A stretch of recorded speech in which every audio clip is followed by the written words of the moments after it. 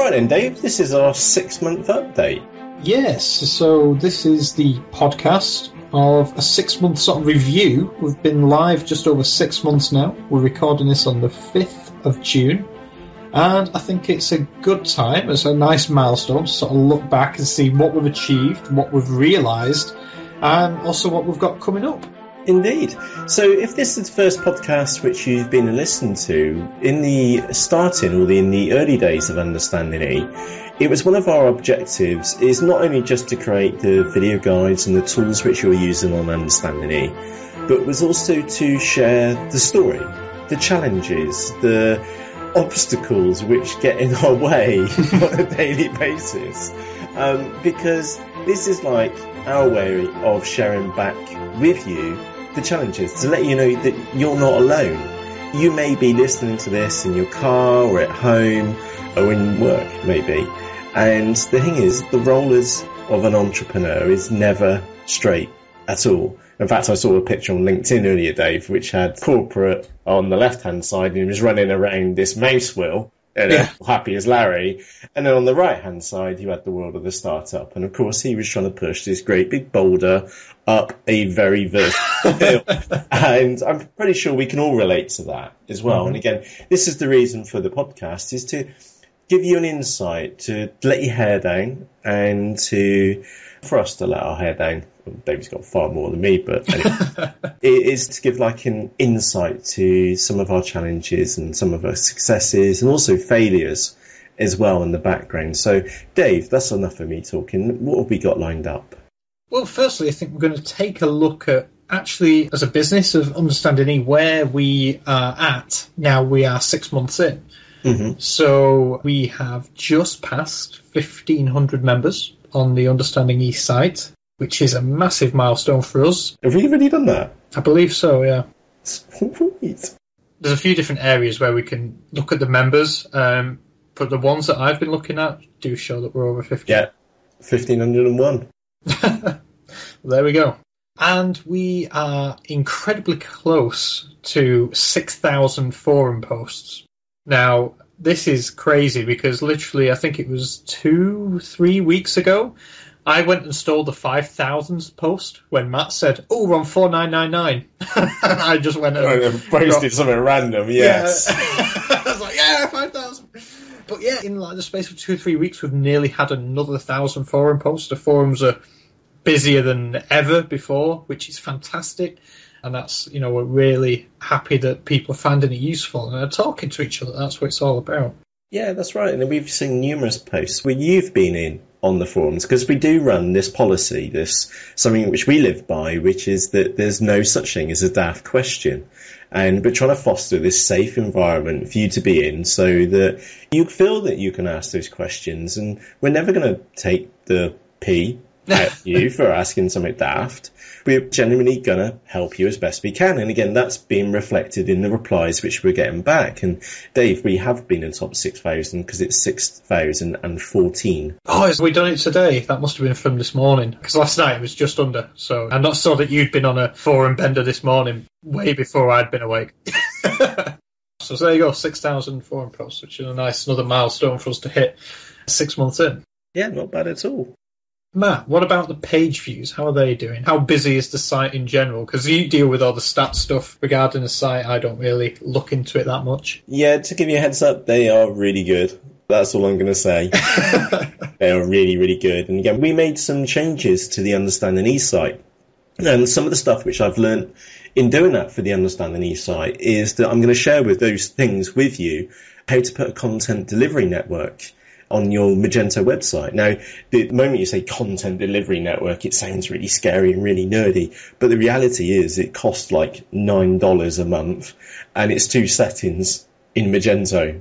It is like really straightforward. And of course, those settings are also taken notice by M2E Pro so that when you've got your listing images on eBay, for example, is that those images are going to be transferred by the content delivery network. So it doesn't matter where your customer is in the world is that they're going to get those images really, really quick to them. And again, fast loading sites basically equal more sales. And again, that applies not only to traditional websites, in inverted commas, but that also transposes back to eBay as well. Fast loading listing means that you've got a higher chance of selling it, actually selling the products and it's really straightforward to do and I can't wait we do the tutorial to show you how to do it because it is really straightforward. And again, it will be like a 25 minute tutorial, I think, because we're going to do it in one great big hit. So rather than getting you warmed up and explain what a CDN is and then go off and do it, we're just going to wrap it up into one tutorial. So when that one comes out, grab a cup of tea, grab a cup of coffee or soft drink and dive in with us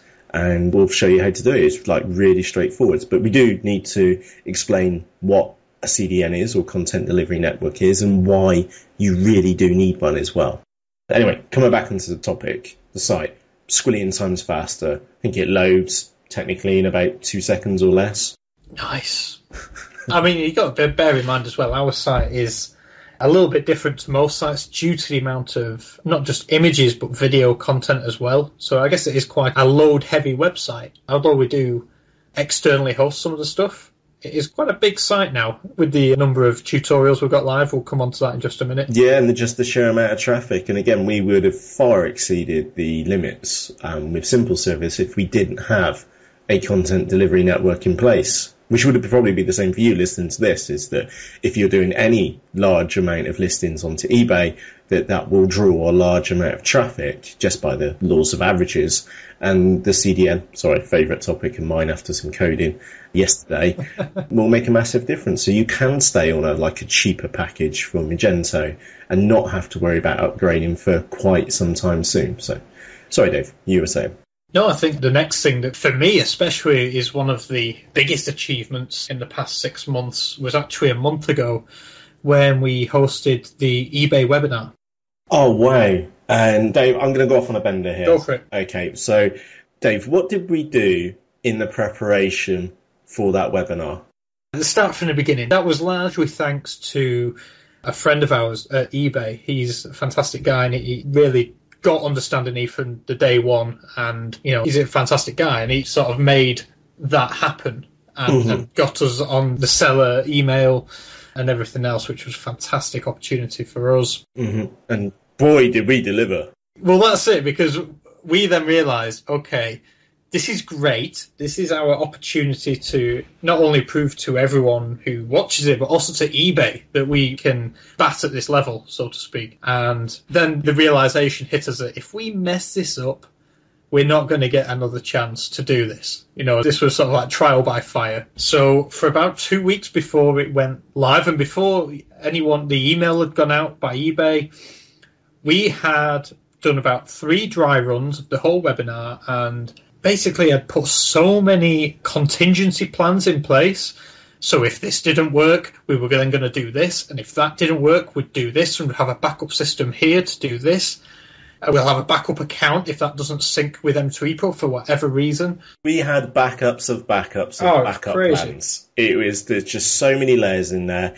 Anything could have gone wrong. Again, we were going to do it live in front of a very large audience of people, and again, we felt this personal commitment back to this contact back at eBay. So we had to deliver on our part and we had to deliver to you. So if you were listening to that webinar, then we had to show you that, that it was possible to go from zero to installing Magento, to creating a product, to getting that product onto eBay and be able to process that order live in just 60 minutes.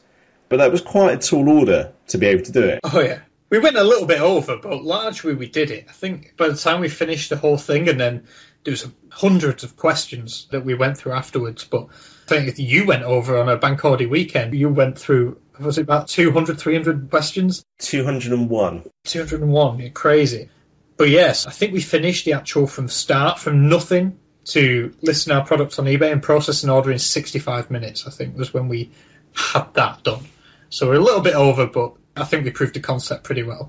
Yeah, we did indeed. And that was quite a challenge on the weekend to get through so many of the comments. And again, I felt that that's what was needed for you. So if you asked a question during that webinar, then I personally guarantee that I've replied to you and your message. And I know that because I went through every single question which was asked. And again, we are not choosing the easy route. We could have just summarised those, but that wasn't personal. Me and Dave, we're kind of working out that there's a lot of things which we could cheat upon, and mm-hmm. we're not going to do that. The reason being is the harder the task is, the more likely it's going to be massive worth to you. So that was just one of the examples. Yeah, it did take the bank holiday weekend to do it and the Monday, but it was edited out and live as fast as we could. And Dave, just explain beforehand. So that morning, I remember being sat in my kitchen. I got up on the worktop, and what went on there? This was just proof that we had spent so long going through this. We both knew the, the presentation, the webinar inside out. And Matt had put Skype on his phone on a video call, so he was down in the kitchen and I was at my desk. And we basically, for an hour, we did the presentation to ourselves. And Matt had no slides in front of him, he had no notes, literally just freestyled it from memory. And that was the level to which we knew what we were talking about. And it was that level of comfort which I think made it such a well received webinar. Yeah, so it didn't go down, and it wasn't by pure fluke that it was a huge success. And just thinking back to you and your business, this stuff doesn't happen by accident you have to do the grind. You have to get in there. You have to put the time in. And when we, we know what that challenge is about, and again, this is what this podcast is about to point out is that you may be seeing and Understanding E from the outside and thinking, wow, this is like the forums are going mental. They're getting huge amounts of page views, blah, blah, blah. But we're working our nuts off here in the background and we know that's what you do as well with working your nuts off. You're putting the hours in. That's your role as the entrepreneur is to do as best as what you can with the resources which you've got available. And preparation is massive to this. And again, we're late on some of the tutorials. I would have loved to have had so much more live by now. And again, we're six months in and I'm thinking, crap. And I'm not going to cut that bit out, by the way because that's really what I'm thinking. Is it's like, oh, we could have that, and we could have had that done, and so on and so forth. But the thing is, is that these things need to be planned because it's just like the webinar. We need to think about you as a person and the different types of person which would be listening to that webinar and the different levels of their businesses and being able to dumb it down to Matt proof level and Dave proof level so that anybody could pick it up and preparation was key so that when we hit it and it just went flowed it just literally flowed all the way through. And I remember saying, "Oh, Dave, what about that?" And you went off for five minutes by yourself. And yeah, yeah, that was my role. Obviously, Matt was driving, so to speak. He was in control of the screen, so I am sort of limited to what I can, just to make sure what I'm saying. I have no control over the screen, so it can't always match up, is what I'm trying to say. So whenever Matt had a dry throat, I imagine, after all the talking he was doing, and I would try and pick up for a few minutes and fill in some. I think I was covering some history about Magento and eBay and other bits and pieces like that. Um, again, just keep it interesting. Yeah, we did. And again, I think we were covering like worst case scenarios. What happens if my internet goes down? So I had a backup yeah. plan for the internet. And to be honest, Dave, with the amount of work which we'd done, even if my internet drops and I couldn't even get to a telephone box, for example, that you would have been able to hold it down by yourself. Yeah, because, you know, I'd given each other the presentation and that was one of the backups. What if Matt loses connection, goes offline? I had to be able to stand in and give the same webinar. So I said, in part of the preparation the week before, I'd given it to Matt without the slides, just with a few notes that I'd scribbled down, and Matt had given it to me. So we'd both heard it probably a dozen times. And yeah, that, that's it. It's all about, you know, it, these things don't happen by chance. It's preparation. Yeah, absolutely. Again, this was like organised back in September last year, something like that. So sometimes these things can take many, many months to come to fruition, and you've got to have the grit to stay with these. Um, so talking about that, going off to just one of the notes which I've seen down in the end, Dave, which is that we may be, I say in inverted commas, maybe speaking at Magento Live as well.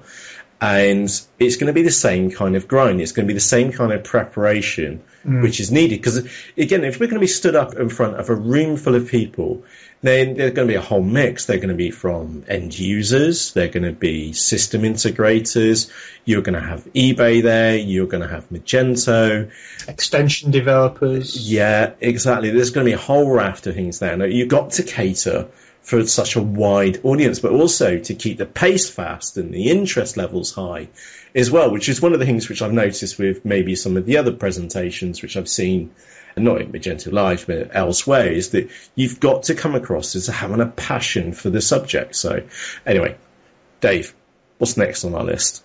Well, the next on the list, Matt, is something that you uh, mentioned earlier in the Skype chat, and that was the struggle and sort of the major challenges, the weekly meetings, the emails.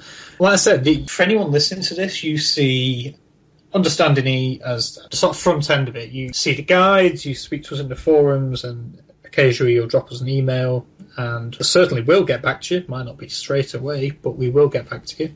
And I think this was an interesting point by you because I know that when we first started doing Understanding E, like I said, it was in August, September last year when we first started planning it and all this iteration of Understanding E at least. Mm-hmm. Um, we both had sort of grand ideas of where it would get to, but we were both under no illusion the effort that it would take in order to get it there yeah, we would have been at 1500 members a long time ago if we'd done some naughty things, which we refused to do. Just to point, that was my target for day one was 1500 users. it just so happened it took us six months to get there. but we did it the right way. I think yeah, is the key there. That's the difference. You can cheat at stuff, and the thing is, is that it's never really worth the effort to do it. So yeah, the struggle. These things is that going back to what we were saying earlier, that the harder the struggle, the bigger the challenge this is. or whatever you do, if it's worthwhile doing, do it. And that may be negotiations with a supplier, for example.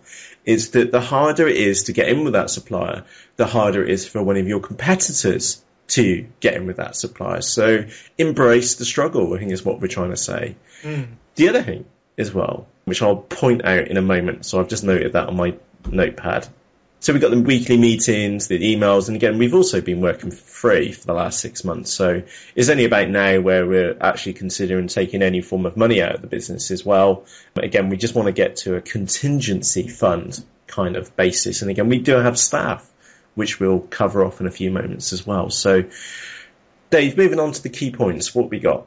Well, I think you touched on the first point that we had a little earlier, Matt, and that was about the site speed and the performance upgrades. We won't mention CDN again. covered that one. We had a updated homepage for anyone who we did email a few people off the back of a might have been the afternoon tea before we moved to happy hour. And that's probably a good point as well, which I've totally missed. We'll talk about that in a minute. But yes, we asked a few people that we know had used Understanding and the tutorials to give us some feedback, some open feedback that we could put on the homepage. And now, if you see the homepage, it looks quite different to what it did back in January. And we figured that the actual aim or target of what Understanding E set, not it didn't really change, but the offering of what we now have live was a lot clearer because we'd actually been and done it. So yeah, the site had a homepage update and a few other tweaks around the site. Um, few keyword changes, guides became tutorials, and little things like that. And there totally are reasons why we did that. Um, that's up to Matt if he wants to go into those. Speed and clarity. Speed, clarity, and also Google. Oh, to Google, there was nice little add-ons which I put in there for that too. And again, we're not employing any SEO firms to do anything for us. We're just keeping it organic. Again, we're choosing the hard route, which is that the hard route, same for you in your business as well, is that the hard route is making content. There's one very simple rule, which again, we saw an increase in the Panda update. Sorry, let me just explain that. Google do revisions to their search algorithm, and the one a short while ago was for Google Panda version 4, and we saw a 7% increase over the space of about a week from that being released, and our speed increases as well. So it's kind of like a double whammy win for us for that. And my point being is that there's one rule which you can never go wrong with, when, especially when it comes to building a presence online, which is quality, unique content. Is that if you follow those three pillars for anything that you do on the web, then you can never go wrong. You will never get slapped by Google. You'll never do anything naughty. And again, you will choose the hardest route possible. Quality, unique content. And the thing is that quality, unique content is really hard to do. And again, it's difficult, and that's why people cheat at this. And that's why we're never going to suggest that you do, because it's the wrong thing to do. And again, we want you to build a business which will last a long period of time. And the right way to do that is the way which we're doing it. which is to build quality, unique content. And also other things like a community at the same time. What else do we have, Dave? I think we might as well mention the happy hour, basically the weekly meetups. When we first started those, they were branded as coffee mornings, and we would get together every Tuesday at 10 o'clock in the morning, and we would basically have a meetup. We'd either discuss a topic or a handful of topics um, with anyone who wanted to join us, who could take half an hour, an hour out of the day just to see what was going on in the world. And like I say, if we had something cool to share that we'd been working on, or some updates, or some news within the industry that had come out, then we could discuss it in sort of an open manner. And obviously, as Understanding has grown, the coffee mornings were becoming more and more popular, and we were getting more and more members to the site that were from America and from Australia. And we tried it about three weeks ago, two, four weeks ago, where we did the first afternoon tea, and then we moved it to the afternoon so that the time zone switch made it easy for America to join us, whether they're in the East or the Pacific coast, just so that they could join us. And the feedback was fantastic. I mean, the feedback was fantastic from the Americans. They thought it was great. They'd never done this before. They really enjoyed hearing from us and from you guys as well over in the UK. But a few people in the UK mentioned that this was now sort of encroaching onto school pickup time and they couldn't make it, and or it was towards the sort of end of day dispatch, and they were mad busy getting all their orders out the door. We could totally appreciate that. You know, myself and Matt have both been there. Mm-hmm. So that led us to happy hour, which is where we're at now, and that is every Tuesday. Still, we do the meetup at eight thirty in the evening time here in the UK, and that now means that Australia can join in as well. Granted, it is a little early in the morning for them. Yeah, it's half past five. Depending on which coast you're on in Australia, but yeah. It's pretty early, but we get the dedicated ones, or, or just the early risers who join us anyway, which is fantastic. And also, it means that it's still a great time for the Americans to join us as well, as well as more people now from the UK can still join us, or Europe can join us as well, because the kids have gone to bed, or you know, Coronation Street, EastEnders has gone off, whatever else is going on. Yeah, well, this is just to give some clarity here as well, Dave, is that we know that it's quite early in Australia to join us. We also know that it's quite late in the evening for the UK, but just to put this into some form of context is that we're not asking anything which we wouldn't feel doing ourselves. Just so let me just put this example. I've just been chewing my dinner here in the background, and the reason being is that I've already been up for eight hours, and it's the first time around I've just got to eat. so I'm getting up at five o'clock in the morning and doing as much as I can by the time Dave gets in. So and we're recording this at 20 past one in the afternoon right now. Mm-hmm. And that's what happens on a Tuesday. I'm up at five o'clock. I'm in doing the stuff which I need to so that we can then hit the ground running during the day when Dave joins us about 9, 9.30. hint, hint. But Dave, I'm taking the piss out, but let's be fair here. Dave is in here. And he's on much later than what I am now. Yeah, Matt used to. It's sort of a new thing. I think it's due to McDonald's breakfast. I gets up early. Oh, yeah, and their coffees. it used to be the point where I do work much better in the evening. I'm really not a morning person. So the happy hours are great for me. I'm fantastic. But I guarantee by Tuesday now, as soon as we come off to coffee morning, Matt is knackered. He's been awake for what, 15 hours. But like I said, Matt will go and then I will carry on for another two, three hours into 12, 1 o'clock in the morning. I prefer working at that time than I do in the morning. So that does mean that now Matt starts at 5. I can call it a day anywhere from 12 to 1. There's only like four hours where one of us is not working on something. Which yeah. is quite good, really. Which is quite good. I like the crossover. It works really, really well. And Dave, we're going to mention about you going across the United States for a couple of months in a few moments. But the crossover is there. And if I'm, you may think that we're recording this in the same room, and it was actually a discussion with Mark last week, which was uh, I didn't realise that you two are in two different locations. Yeah, we're about three hours away by train. And if you listen to this and didn't know where we're based, you just grab Google and look up Bristol in the United Kingdom, and then look up Manchester in the United Kingdom as well, and you'll see the distance between that. And that distance is three hours on a train, which stops only a handful of times all the way through. Yeah, it is. It's quite a distance. Yeah, it's quite a boring train journey. yeah. The wonders of Skype and email and instant chat and WhatsApp. It's just like that Dave sat next door. And that's it. This is definitely, with what we're doing at Understanding, we're the perfect example of remote working. Like, for example, if I'm in Manchester and Matt's in Bristol, that might as well be Matt in Thailand and me in New York. It really doesn't matter. The only thing that we need to sync is our, you know, time zones. Make sure that we are both awake a similar sort of time. But other than that, we can work anywhere in the world. And it's the same with Jim, with the recordings with Jim. We've been working quite closely with Jim over the past sort of few weeks. Jim's out in Thailand or in Vietnam. So that's another time zone that we have to sort of play with. But we do everything. Like he joins us on the guides and the podcasts that we release this week. And again, you wouldn't really know that he wasn't with us in the same room. We work on the guides together, um, on his Magento guides. Again, he's 2,500 miles away. But, you know, we can still work on the same document together. Yeah, exactly. And again, there's a whole new topic which goes on here, which is remote working, remote staff, and outsourcing.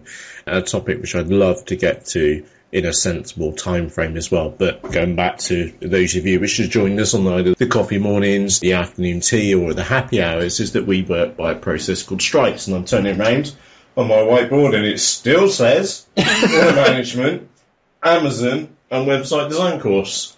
And that's all on the right hand side. That's the major priorities for us. We did have a slight tangent for the responsive eBay listing template builder, which we'll get onto in a moment. But yeah, it doesn't matter where your staff are in the world. It's going to, it's all down to open and clear communication. So yeah, an interesting topic for another day, Yvonne. Well, I think that brings us on quite nicely to the growth of the UE team. Rather unplanned. Yeah, do you want to explain that one, Dave? Yeah. So, for those of you who've listened either to previous webinars that we've done or in coffee mornings and afternoon teas, happy hours, we you'll know that the Understanding E team has grown. It's actually doubled in size. So originally it was just me and Matt. It wasn't hard to double in size. it, it was really impressive. We doubled in size. No, we um, we hired two people, and the first hire was a chap called Adrian, and he is our editor. So to give you an idea, every time that me, myself, or Matt record tutorial for the site, so let's just keep it simple in terms of time frame. So we record an hour long tutorial.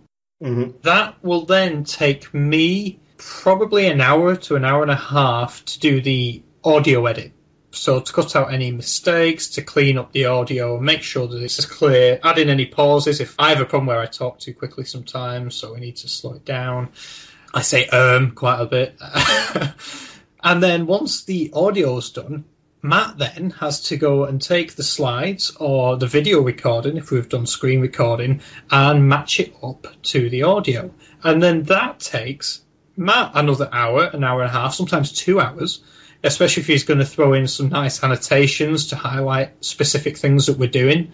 So, all in all, we've recorded, it takes us an hour to record, and then another three, maybe four hours to actually do the editing. And those mm-hmm. four hours where we are editing, we're not recording.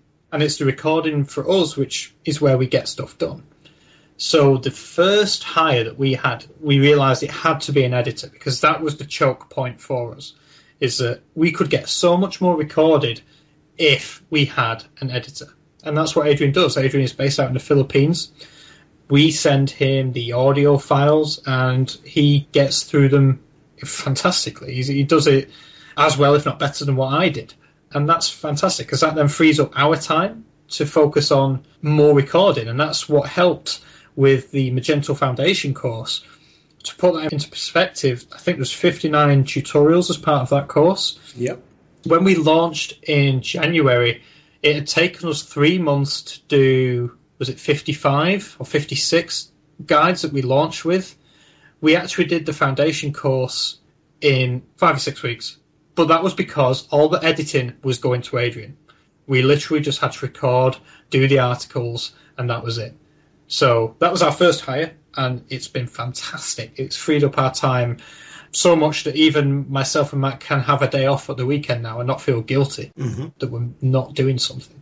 And then secondly, we have Tina, our VA, so to speak, who does a lot of the things which we should do, but we weren't doing because we were too busy doing everything else. Mm-hmm. Tina's fantastic. She looks after basically a lot of the admin stuff. She does a lot of things for social media, does some marketing bits and pieces for us. And yeah, Matt, I don't know if you want to go into any more detail about Tina and what she actually has helped us with so far. Oh, Tina's an amazing help. And again, we had a conversation earlier this week with Tina because she felt that she was probably not helping us as much as what she could do, and she had a lot of free time. And I had a blatant conversation with her, which was that this is amazing for us. Don't worry. What we said originally is that we'll keep you on board as long as we've got a business going. And it's straightforward as that. So don't worry about that we're underutilizing you right now. What you're actually helping us with is amazing because when you register on the Understanding E sites, there's that she's watching for those emails and we'll get back to them in a span of minutes, which is something which I just can't do anymore. So that's just one task. There's lots of others. We'll cover that in a separate podcast or maybe just wrap it into the series on outsourcing. Yeah, that'd be a nice one, yeah. Just to give you an idea, like Tina has freed up our time again to not worry about the small stuff. It allows us to focus on the clouds and the dirt. Did you see Gary Vaynerchuk's vid, Matt, the other day? Yeah. There you go. It lets us focus on the clouds and the dirt. And for anyone who wants to know more about that, I'll put the video link below and a shout out to Gary Vaynerchuk because it's a pretty inspiring way of looking at things. And I think both myself and Matt take a very similar approach with understanding E. Yeah. Yeah, exactly. We, we do indeed. Oh, just a quick observation for those of you listening. One of the major changes which has happened over the last six months is that if you go back to the website and go to understandinge.com, go to blog and then click on podcast and listen to one of the earlier podcasts, is that you'll notice Dave's confidence in Zorkin has gone up. and they, again, I've purposely done it on this podcast so that you can actually hear the difference between quite a timid Dave originally to quite a very confident Dave right now who can hold his own in pretty much every conversation which we have when it comes to understanding Magento and some. Let me just justify that. When we first started doing the Magento guides, to me, I'd seen Magento maybe twice before properly and actually navigated it. And I'll be honest, I didn't like it. You know, I was from eSeller Pro. I knew eSeller Pro pretty well. Let me clarify. I wasn't working for eSeller Pro. I'd used eSeller Pro for quite a long time. Mm-hmm. So I knew the layout. I knew everything was. And then Magento was just not the same in anything wherever I thought something was going to be, it wasn't. And then Matt went, "Oh, that's great. That means when I'm taking you through it, if you can understand it, then anyone else watching it can understand it." So Matt, in some of the earlier guides, I've not got a clue. It's like the first time that I'm seeing some of this stuff, and I'm trying to ask questions as we're going along, and I'm thinking, God, I need to pick this up quick. So yeah, that is really why I think because it is a confidence thing. I was like, I'm no Magento expert yet. no, I'd had the Magento handbook, which you'd sent over, Matt, and I would yep. look through it and I'd gone, okay, I know some of these words. And then, yeah, so now I feel really comfortable with Magento. And again, just a different point for you listening to this as well. We hope you feel comfortable with Magento now because there was a time which I didn't have a clue either. And again, I'm quite open about it. It took me three attempts to get my head around Magento. It was very, very weird, very scary compared to other shopping carts, and it was quite strange. And yeah, don't don't feel alone. And let's go back to the forums. There's mm-hmm. no such thing as a dark question if you don't know the answer. So please ask, because we've both been in the same boat as you. We were both new once to Magento, and just ask. Never going to take the P. Yeah, I think my signature on the forums is every expert was once a beginner.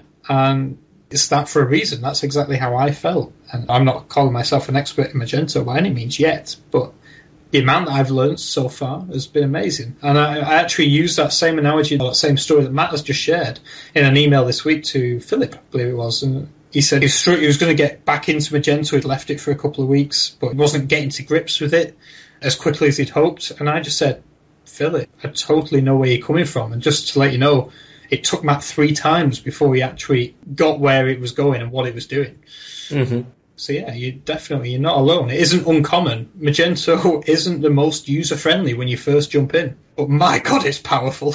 yeah, that's for sure. And again, changing the topic on to the next bullet point. Again, we've been doing our homework especially Dave, in the background. Some of us have had to do it. they didn't know anything before. so we themed the Magento admin and we had the first update to the Understanding E theme. And again, it's kind of testament to the work which we did starting back in last September to build this website theme for the Magento admin to make it non-nerdy. And again, this update, my favourite thing about the entire update was that there was a green button in it. There was 70 other, sorry, 70 plus other revisions in this update, and they're all minor. My favourite one was that one of the major buttons was now green. So you had this no button confusion when you were going to your orders page and making a search because the search button was now green. And again, I purposely themed all the M2E Pro buttons green as well on purpose. But outside of Magento on the orders page, in inventory, etc., etc., the primary task button, as it's called, is now green. So it's really straightforward for you and your staff. So we had that update come through as well. And a quick question, Matt, on that one. That update, how many fixes were there? Two. Two fixes. There were fixes for plugins which I'd not done with. Exactly. So actually, there was no fixes that was causing any problems with the theme, and they're my favourite type of updates where there's no fixes. yeah, they were tweaks for it. Yeah. So massive hat tip to you, sir, for that one. Yeah, Dave, do we have over 150 tutorials now live? We do. I just went and had a look in the back end of the site, and I looked at all of the lessons that were active, and it's just gone over 150. That's nuts. That's crazy. And again, that's one of our challenges. Uh, Dave, we rewrote or redid the majority of the getting started tutorials as well. And we updated a fair few of them and a couple of key sections were removed and replaced with other tutorials as well. So it's still the same length of tutorials, but the video guides which are in them have been updated and take you on a slightly different path to what we were doing before. What else we got on that list? Oh, the responsive listing responsive template. Listing template. If anyone had joined us in happy hour this week, sorry, on the 3rd of June, you'll know absolutely loads. You'll know everything there is to know about the responsive listing template. But Matt, if you want to give us a brief on where we're up to with that. Yeah, I'll keep it really short. Basically, I've built a listing template builder which is mobile responsive.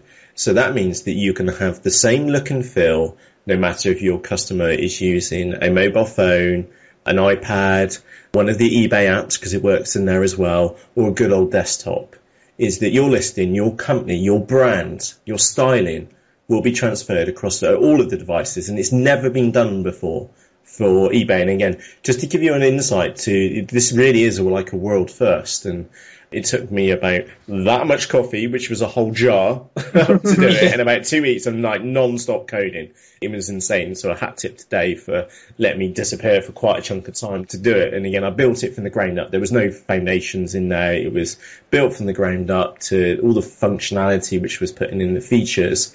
Um, they were written from scratch, and I think there's 12, 13,000 lines of code to be able to do this. There's even more now because I worked on it this morning again and yesterday to finish some other pieces off as well. Anyway, getting on to the topic is that you can have an eBay listing template which you put into, say, M2E Pro, and then let's you put your items onto eBay and maybe you choose pink because you like pink this week. But later on is that if you're bored of that pink and you want to change it to green or blue or black, is that you can now update the theme, you can remote control your listings from Widgetchimp so that if you want to change it to a black theme with pink hyperlinks, for example, is that you can change the settings, click save, then go and click uh, apply the theme settings. It will then go out into the content delivery network. Yeah, my favorite word at the moment.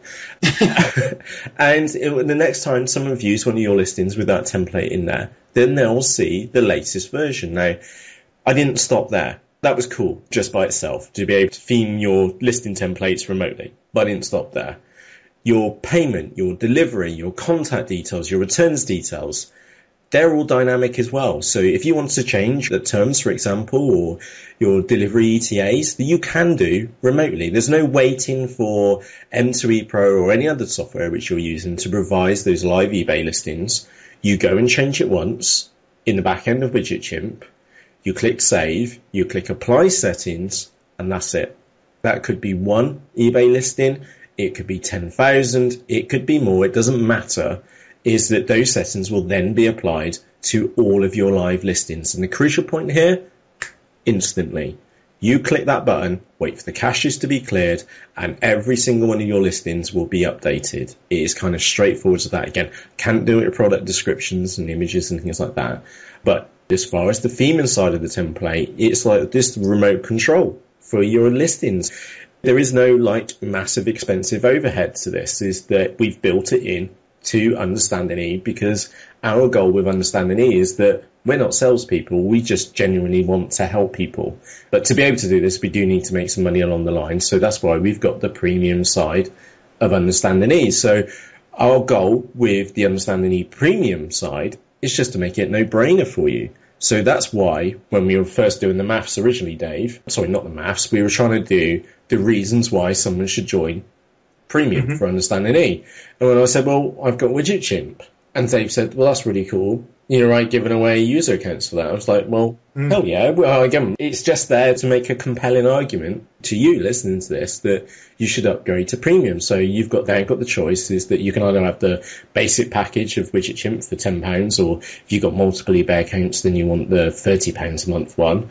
Or you can have Understanding E Premium, have access to all the other tutorials, the premium guides, those 59 tutorials on how to build a Magento website from scratch. And again, the design tutorials and the advanced tutorials and the other tutorials which we've got, which are no brainers, um, you gain access to that and you get Widget which now has the responsive listing templates in there. And again, I've never seen anything like this. And again, I built it from the ground up with you in mind. So I took the other widgets which we've got, related items, dynamic eBay categories for your eBay store, the reviews widget so you can get your feedback in your listings automatically. You have to do nothing for it. In fact, you can just choose yes or no whether you want it included, press save, apply settings, job done. Anyway, Dave, Amazon and eBay, they reached out to us and again in the last month or so, haven't they? Yeah, they have, and this is an interesting one for us. And actually it is flattering really that they want to talk with us. Yeah, just put this into perspective. We're just two random guys. I'm called Matt and I'm based in Bristol and Dave's from Cunningham from Manchester. We rarely see each other and we've just built this website called Understanding E and we're getting approached by companies like this. Mm-hmm. It's insane. It's crazy. And when last time we were down at eBay, one of the senior managers for Europe turned around to us and said, It's fantastic. You guys are a jet ski and we're like an oil tanker, which means that you can respond so quickly. You can change direction, change which way you're going. He says, Where for us, it takes us hours just to turn around. He said months. months, yeah. I think that was, they really liked where we were going, as well as just the whole general, I think the business philosophy that we were working with because when we first went down to go and see eBay, and the time since, they really do like where we're coming from in terms of how we are operating. So the easiest way to explain it is for understanding E to succeed, we know that we have to help you succeed. So basically, our success is based on your success. And that's it. Some of our competitors, and this is not from me, but from people who have told me this, see them as just seeing their customers as monthly paychecks. And for us, nothing could be further from the truth. That's, you know, the majority of our members don't pay us anything. And that's the way it should be in my book. So again, we're trying to fundamentally change e-commerce for the better, which is that I can't believe that people are paying the stupid amounts of money, which they are, to second generation software providers. For an off the shelf bit of software which doesn't actually customize to their business. It's nuts. Crazy. And I think the other thing that is quite unique about us is that a lot of our competition, again, not naming any names, basically keep running through rounds after round of investment or funding. You mean ten million pounds worth of investment? Maybe. Again, don't want to drag any names in here. Right, but there's a certain company which has just took another ten mil. Unbelievable. So to give you a heads up, right back at the beginning of Understanding E, I spoke to a couple of fellow business owners which know me really, really well and kind of knew what I was capable of. And, oh, Dave, that reminds me of the comment which I got called this morning, which yes. I'm very proud of. Now, there'll have to be a beep in it because there's a very naughty swear word in it. But I was very proud of that comment. So coming back onto the topic is that, yeah, I did speak to a couple of entrepreneurial people and we were offered quite substantial amounts of money at the beginning for Understand the Needs just to get us started. And we were like, this is great, but what on earth would we do with it? Why would we need that kind of money? And this is tens of thousands of pounds. Yeah, we had the discussion, didn't we? And we sort of we were very flattered. Firstly, that someone would value a business which hadn't even launched yet at such an amount. But secondly, we had the discussion about okay, so we put X amount on our desks right now. What do we go and do with It it? would have been a big pile of cash, and that was my problem. Yeah, and the answer was, well, actually, we're just going to carry on doing what we're doing now. Yep. You know, other than pay ourselves, that would have been the only thing. And granted, we may have thrown a little bit more money at advertising, but really, the only thing that could have grown Understanding E is our time. Yep. So we would have just been paying ourselves a wage out of investment, which I certainly don't agree with.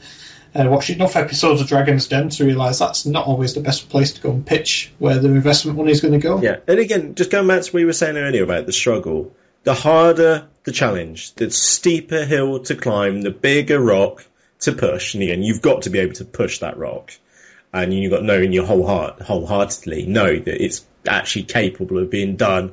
Then do it. Pick the hardest route possible. Then you know you're on the right route.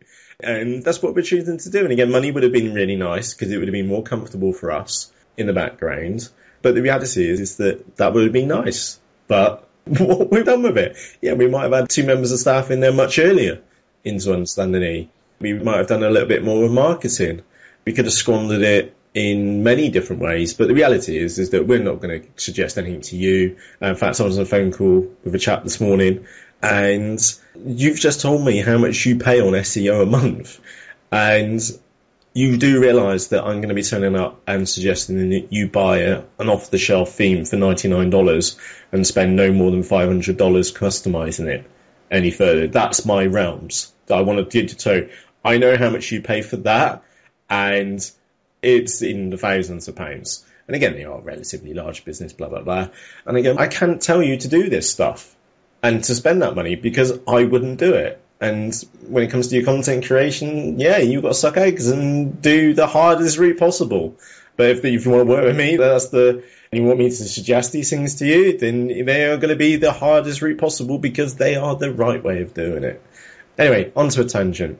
Interesting connections from Amazon eBay for it. We released the Magento Foundation course on Udemy, which went kind of quite well. Not as well as expected, but generally impressed.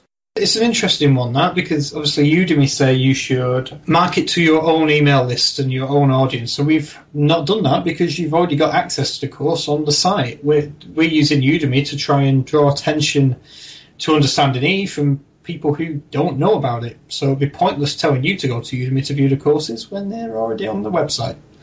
So we're doing things a little bit different on Udemy. Perhaps that's why we're not seen as big an uptake because we are every member that's come from there is coming from searching Udemy themselves. We've not sent anyone there. Yeah, yeah, you've got two million users and we want some of them. Yeah. You go and do the marketing. Because that's my blatant view on this. For it, I'm not going to send you someone to join your website when we want it the other way around. So that's the brutal route of doing it. And again, that's why maybe the success hasn't been great as maybe as high as what we were expecting, but still genuinely impressed by that. Jim's podcast went live on Monday, was it, Dave? Tuesday. Tuesday. So I can't even tell you what day of the week we're on right now because they're all the same. I always try and podcast go on a Tuesday just because I know that a lot of the guys Monday morning, Monday afternoon, Monday in general is not a great day to put fresh content out for anyone to watch because they're going to be mad busy after the weekend. Mm-hmm. Tuesdays tend to be a good day. If I'm ever going to put a blog post, podcast, anything like that out, it will most likely be a Tuesday or a Thursday, not always Fridays. Indeed. So, and again, the tutorials on Magento's Shippies and Pitpack extensions are coming out. We are working on them. The same as the, we've got several courier integrations out. What have we got? Currently, we have a UK mail and parcel force that are live on the site. I believe the Mark, who was in the guide, he was nipping away. He should be back in the next week or so. And then we've got DPD, Royal Mail, DMO, another one which I've forgotten. But yeah, there's some more couriers guides coming very soon. Okay. And moving on, Dave, something which I brought up in one of the happy hours. Yes, I love this topic. Do you want to explain that one? Yeah, sure. So this was Matt brought it up not this week but the week before, and it was in response to a question that someone had asked regarding multiple listings on eBay and whether they should do auctions or buy it nows. And Matt basically turned it around and said, our requirement as entrepreneurs is that when someone offers us an or option, so for example, should I list on auctions or buy it now?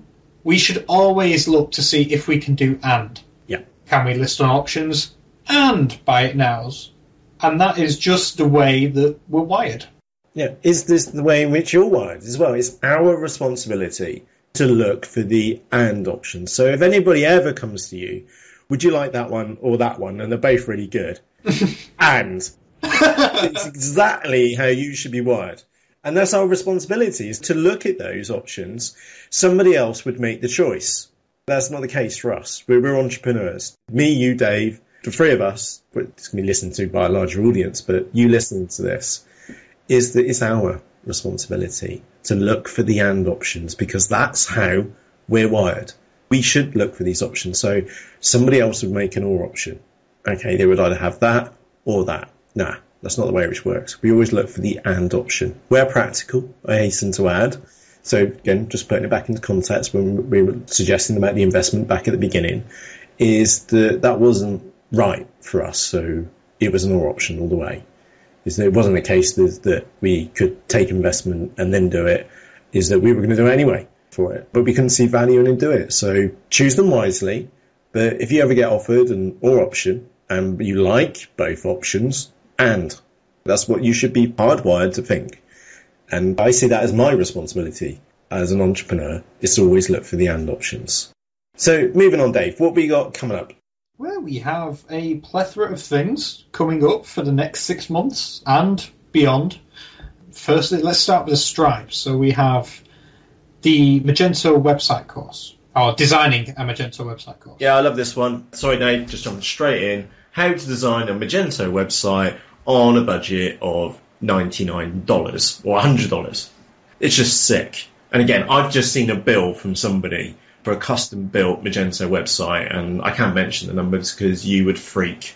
You could probably buy a house for that kind of money. Not in the UK, but it would be a fantastic sports car, put it that way. And I just don't think that's right. It's just I'm trying not to swear, if I'm frankly honest. Yeah, put it this way: we can't see where you would get that amount of value from a website. Yeah. What is on that website which is worth that amount of money? Yeah. Well, why would you want to put yourself that kind of large amount of money in the hole? And we can we can't recommend that to you because that's not the route which we would take. The route which we would take is pick the best theme available, which you know that works, and again, it's used by like 5,000 plus businesses it works brilliant. I've personally used it numerous times. It's a fantastic theme, and it will get you 99% of the way there. No, let's, take, let's just say that it will take you 90% of the way there, because I'm sure whatever budget you've got left over, you can then go and spend on cool extensions. So if you want a one-page checkout, for example, you're not having to worry about your budget because you know in the back of your head you only paid like 60, 70 quid for a theme. It's going to look fantastic when it's finished. So a one-step checkout for 100, 150 pounds is like a bargain. You've got this extra budget to go and buy those luxuries for your website. And the other crucial one is that you're not five grand in the hole before you've even got any customers to the website. You're like minimum $99 in the hole because you've just been used this off the, off the shelf theme. We've shown you how to build it with zero coding requirement, I hasten to add. And the were bits where there are some code, for customizations, I'm going to give you the copy and paste code. It's like if you can manage copy and paste, you can design a Magento website. That's the bar which we're aiming for. We're trying to make it Matt and Dave proof as possible. So the design course, I'm super stoked about because nobody else has done anything like this before.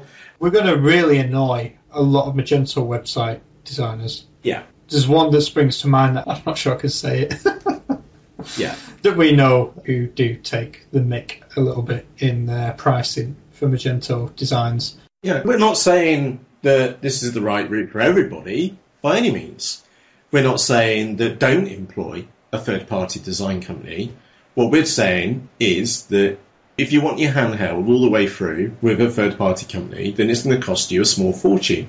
Mm-hmm. You could choose our way. We'll get you a fantastic looking website if you're prepared to put the time and the effort in to do it, and we'll baby step you every step of the way and make sure that it's like as low amount of code as possible. You will not see us in a text editor hand coding PHP because you don't need that. The only sections where you need some HTML will be copy and paste for it.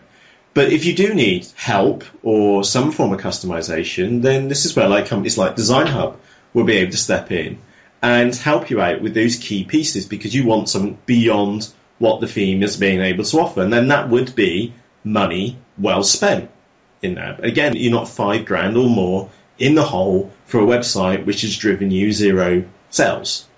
And the way which we look at it is that be a couple of hundred pounds in the hole and spend whatever money you've got left over on the marketing. Again, this is why the marketplaces work because they've got the customers' eyeballs on those sites. That's why they're super productive. Whereas the, when you've got your own website, you've got to build your own audience to go to that website. And again, we will be suggesting the tough routes to build that audience, but to build that audience which stay with the website and going back to whatever funds you've got left over, spend it wisely. Google AdWords, product listing ads, not only on Google, but also on Amazon as well. To think about a affiliate network as well. Think about other forms of marketing for your website and focus it on the things which are going to make you money without being several grand sat in the hole. So really excited about that one, and I'll shut up now. Next up, Amazon guides. Now these uh, get brought up every happy hour, asking where we got up to, and the answer is that yes, we have the plan. We have an outline of the way that we want to take these. We have to bear in mind that M2E Pro is due a massive update on how they handle Amazon.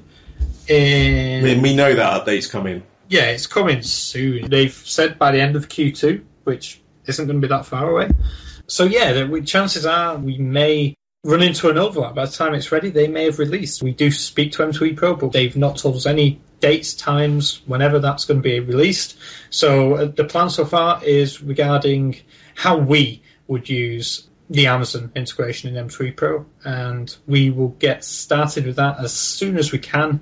We are in talks with Amazon.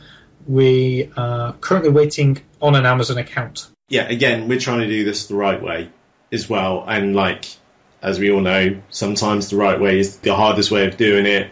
So we're trying to play within some politics to get some stuff done. Yeah, and obviously, as you've seen with the eBay guides, we use fashion because fashion can be one of the trickiest categories to list to due to the variations. And we would be looking to do the same on Amazon, so we can try and cover all bases with you. Amazon have a locked down fashion category. So if you're a fashion seller on Amazon, you need pre approval. And they don't have like a sandbox environment or anything like that. So anything that we do list would actually generally list onto Amazon. And that's why these things are taking a little bit longer. But to do it the right way, we need to do it that way. And we are on it. We are obviously just working our way through some politics with Amazon. Hopefully, we'll get there very soon. Yeah, indeed. We got an invoicing system for the premium members. So if you're looking for an invoice, we're unable to produce those right now for you. But I do have the code to put them on as a invoice within your system. Just got to write a extra bit, a couple of well, I'm going to say I've done the hard bit because I outsourced it for fifty dollars, and it works really well. But now it needs my attention to write the code so that it's automated in the background. That's one of our internal things which we need to do. The same for export my listings as well.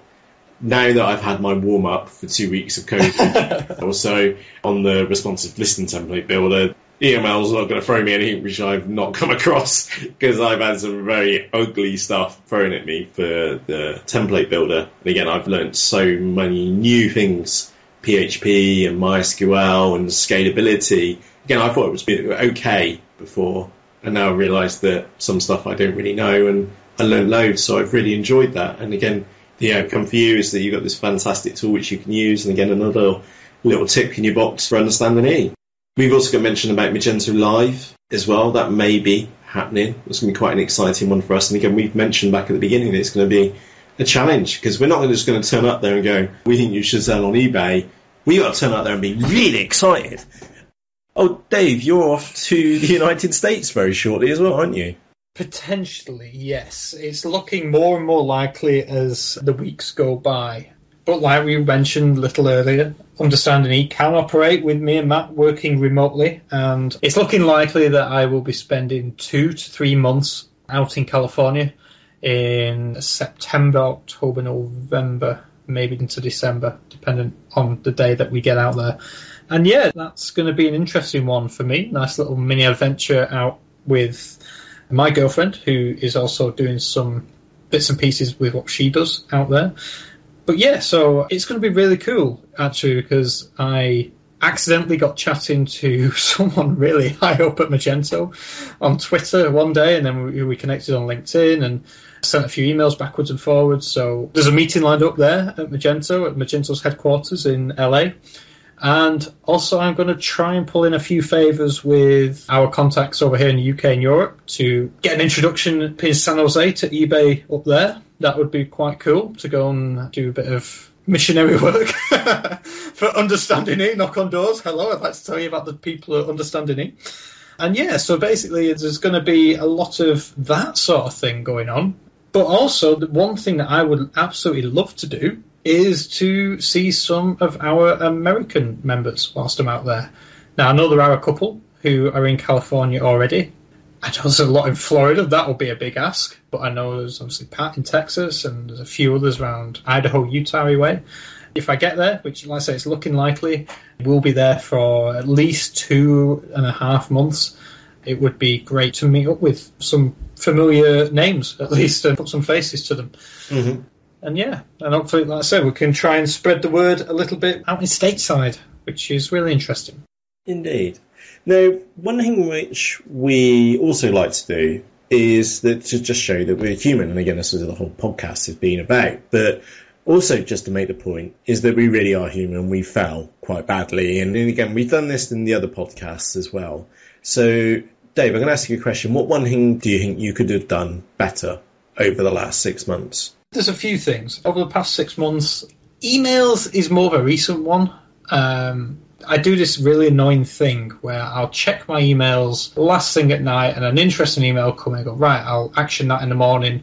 And then I'll get to my desk in the morning and there'll be four five, ten, depending on what day it is, emails. I'll go through them and I'll totally forget about the one that came in last night because I've slept since then.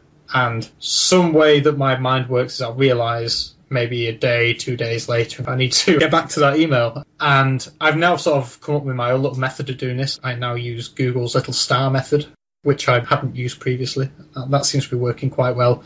And also forums. The past sort of three weeks, I'd like to say I've been pretty good at the forums. And that basically because Matt gave me a pre warning and said, listen, for the next two weeks, my head is going to be down building a responsive template can you keep your eye on the forums? Anything that you can't deal with, let me know. Whereas previously, I would look at, and again, it's the way that I got into this bad trap of how I handle the forums. I can see like unread posts, and I would read the post and go, oh yeah, I'll look into that. I'd make a note, and then I'd go to the next one, and then I'd lose that one.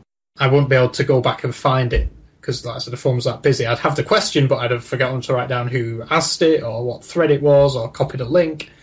And there was a few times where there was, you know, I'd gone back a few weeks later and found threads which I hadn't responded to. I felt terrible. So again, now I've got a different way of handling the forums, which hopefully will be better and nothing will get missed. And also, previously, if I didn't know, I would wait for Matt to pick it up. But like I said, Matt's been that busy. Now I know that if anything I can't answer, I will ping Matt directly for an answer to. So yeah, those were my two main things, which over the past few months certainly I could definitely have done better at, and I will try to do better with my new and improved system of dealing with these things. Yeah, is this where I'd say that I deleted about well, not delete, I just archived about hundred emails. Yeah, I remember that afternoon. I just couldn't cope, and again, I've been on top of them since. Yeah, well, I mean, my email is, gets nowhere near as bad as Matt's does because the way that the emails are set up is that support emails do go to Matt's inbox and not mine. And you've received quite a few of those lately. Well, exactly, and Matt has now learned that there's a little forward button. so. Well, you know, they're, they're all non-urgent ones. Non-urgent, non-nerd ones, importantly. yeah. And most of the, the other ones just got there, called, can you pop this in the forums, please, etc., etc. Yeah. There's a lot of nonsense which has gone through. And again, it's just the, one of the challenges of growing the business. And again, you've got that with your business as well. Customer support overhead will get larger. And yeah, it was a horrible thing to do quite some time ago, hasten to add. And But it was actually getting you down, wasn't it? And that was why you had to do it. Because Matt was, every time he'd do a thing where he'd get through like 10 or 15 emails, we'd record a video, we'd come back and another 10 or 15 more had arrived. And he was just feeling like he wasn't getting anywhere, he wasn't getting through them. So yeah, drastic action, drastic measures. Yeah. so just on my point of view is that number one, I wish I could have coded more over the last six months. Again, just imagine what I would be like if I had a team of developers. That would just be insane. That is next on your wish list, isn't it? For understanding E, is to get at least one developer. hmm Developers aren't cheap, sadly.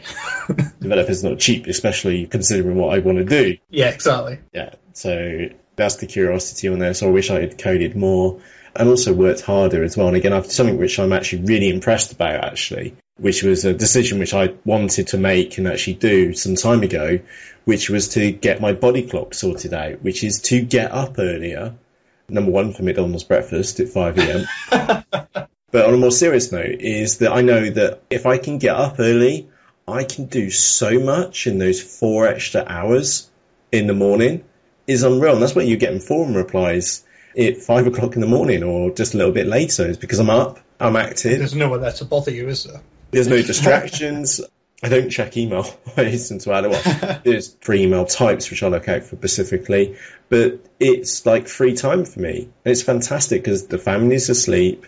I can start working on the understanding e-business and the other things which are going on in the background and be able to deliver them more sensibly. And again, some like on a Tuesday, for example, when I know I'm going to be really late, it is going to be up like in comparison really, really late is that I will dive off in the afternoon to grab 30 minutes sleep and have a quick little power nap so that I can actually be intelligible or be responsive when it comes around to the happy hour, for example.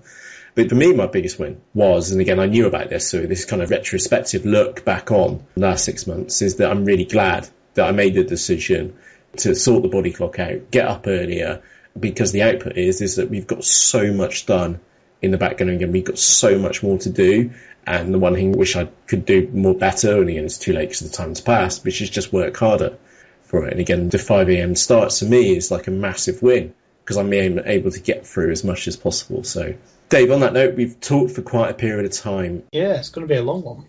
Yeah, but on that note, is that this is the six month update for us and understanding. And if there's any one thing which you take away from myself and Dave is that there's rarely the easy way. The harder the challenge, and again, you make sure it is a challenge which you can actually complete, is that the more difficult it is, the more likely it's the right thing to do. Okay, and we're not afraid of no salary. We're not afraid of doing long hours, being up from five o'clock in the morning to very, very late in the evening, to get in there, to get dug in, to get dirty, to just make the difference. That again, that's the other responsibility of ours as entrepreneurs is to do the work for it. So get in there. So if you're listening to this right now, no matter what time of day it is, do that extra 20 minutes, do that extra 30 minutes, do the extra hour. Get up that one hour earlier. Get in there, get and do it. Get dirty and just make stuff happen because you would make it happen out of brute force. The, the understanding E just won't fail because we will just put so much brute force into it to make it work, and that's just the way which we work. Let's just put it this way: if you worked an extra hour every day outside of your office hours, just on your business rather than for your business, Mm-hmm. That just eight days, that's a whole working day more than what your competitors are doing. Think of that competitive advantage. You just gained a working day over your competitors just by doing it one hour. Yeah. One hour every day. After eight days, you're a day up. Yeah, turn the TV off. Go and do some work. Go and work. So if you're watching a series, for example, it'll still be there. It'll end up on Netflix or Amazon Prime, whatever, later on. And just get in there and get, do it. Do the extra couple of minutes. Okay, because it really does make a massive difference. It may not like immediately see the differences, but if, even if it's a case of that you get up earlier, go for a breakfast at McDonald's, as the case may be, and sit there and pause and actually think about what you're doing with your business. And again, if you're in a business, how could you work smarter during the daytime? Well, think about the next big project which you want to work upon and plan it in advance. Going back to the eBay webinar, which we did. That didn't happen by accident. That came through from an awful lot of planning, a lot of rehearsals, and thank goodness everything went off really well. We had over 500 people live on that webinar as well. And again, all this stuff didn't happen by accident. We didn't just turn up and go, oh, this is how you install the website, blah, blah, blah. It happened because we put our groundwork in the background. So if you take one thing away, we're in there in the background working away. We want you to be in the background making a success of your business as well. On that note, for myself, Mr. Matt. And from me, Dave. We'll catch you soon. Cheerios. See you soon.